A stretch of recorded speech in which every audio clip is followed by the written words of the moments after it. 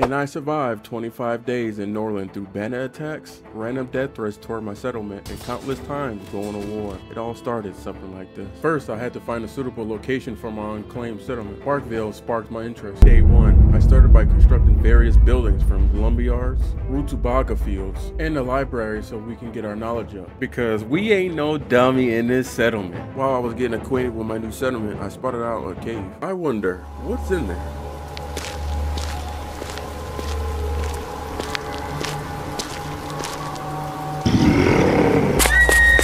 After some time, the trader came around, so I traded some of my wood to the trader. Hey, yo! I had to make sure I didn't go above his limit due to market saturation making the product go down gold in the future. So I had to bribe some peasants around my colony and spread some heresy about a random disease that plagued their town. So I sent my messenger off to do that, and surprisingly, they fell for it.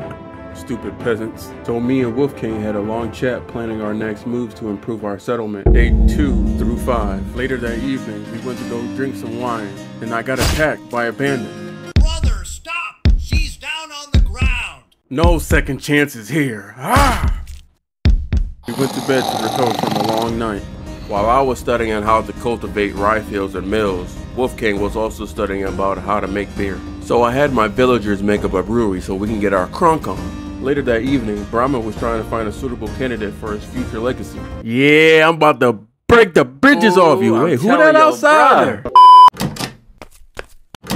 Where that camera at, my boy? My king, what are you talking about? Oh, you want to act dumb now? Okay. I'm going to give you 10 seconds to find that camera or you're going to go to the scaffold. The scaffold. All right, here, here.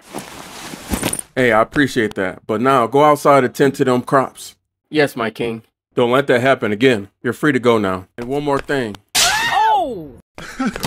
Day 7 through 10. While my peasants continue to gather resources, I continue selling food at a reasonable price so they won't leave my settlement. Also, I had them construct a rye field so we can start brewing up some beer. We also had to build a temple so we can start praying and keep our morale up. Since the trader was in town, I had a quick chat with him. He had some books for sale that we really needed. I had to survey the map once again about any news around the colony. Look what we got here. There was another lord at a different settlement was having difficulties with someone called Mirilla from Treewood. Odrykos gave me two options, neutralize the target or kidnap them. Either way, we will still get paid 900 gold. So I sent one of my lords to kidnap them while I stay at my settlement. Later that evening, my lord was successful and was gonna take some time to bring back the kidnapped prisoner. Later that night, there was some criminal activity happening in the middle of the town. So I armed my guards to take care of this bandit doing it swiftly without anyone getting hurt. Not even joking around, the king from Treewood wanted to give me an extra 808 gold for the return of Maryland. it's crazy what you would do to get your baby girl back. So we came to an agreement to free her, but this man only gave me 250 gold instead. For that, I gained plus 10 in relationship, but I'm sure he wouldn't forgive me for this down the line. By the way, y'all remember that woman I knocked up way back? Well, she's pregnant. I have a daughter named Aganka? Unica?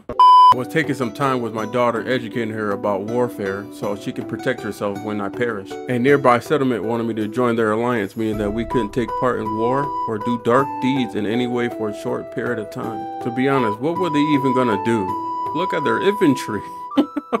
Day 12 through 15. So I had to figure out how my people were going to store their finished product, so I made them make a warehouse. I knew this day would come. The privacy wanted to spread disasters to my land. They were going to arrive two to four days talking about something called nectar that would bring my colony closer to Holy Sophia. Later that night, I rally up some troops to attack this nearby forest bandits in my colony, because if I didn't take care of them, they would randomly attack my settlement. My army was on their way to the forest bandit. My army had arrived on the battlefield getting prepared for this gruesome battle. Their army seemed well trained and well armed, and so the battle started.